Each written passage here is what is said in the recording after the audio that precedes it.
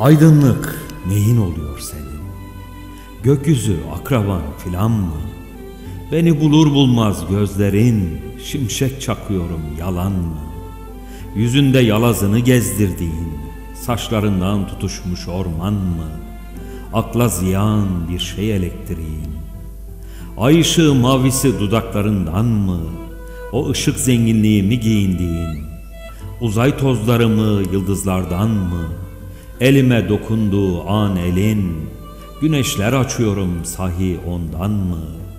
Aydınlık neyin oluyor senin?''